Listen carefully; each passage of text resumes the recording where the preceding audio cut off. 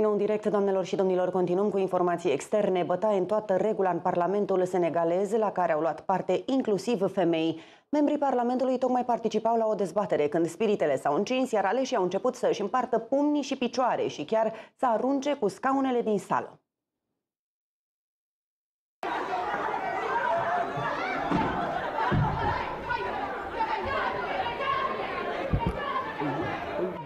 Bătaia din Parlamentul senegalez a început după ce un parlamentar de opoziție și-a lovit peste față o colegă din partidul de guvernământ. În acel moment, în plenul Parlamentului, tocmai era discutat bugetul. Lucrurile au degenerat însă rapid, iar în bătaie s-au implicat mai mulți parlamentari. Ei au făcut schimb de insulte, de pumni, de picioare și au încercat să se lovească inclusiv cu piesele de mobilă din sala de plen.